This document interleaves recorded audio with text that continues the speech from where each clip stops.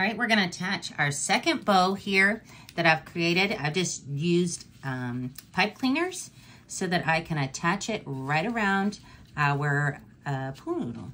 So that way we're symmetrical on both sides.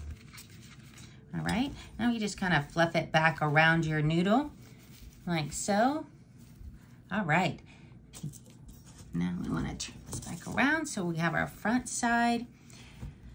We have our picks. Now's the fun part. We're gonna take and do uh, some pumpkins here.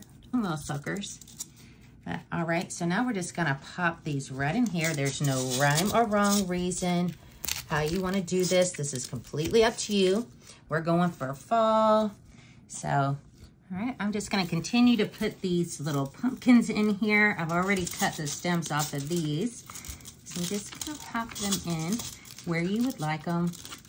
Those will add some whimsical look to our thing here. So I'm just gonna pop those right in and kind of maneuver them around and mingle them in.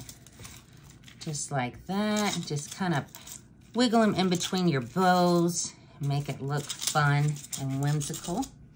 I'm gonna add one more. I'm gonna put it right here in the back so that it, last I'm gonna put me a spider. What's better than a spider or says Halloween better than a spider? So I think it'll look really cute if I just kind of have it coming right up the wine bottle here. Just like that. All right, I'm gonna add one more. I think this would just be perfect right here to add one more at the bottom, crawling up this wine bottle. I mean, how cool does this look for a hostess, for your, you know, fall get together?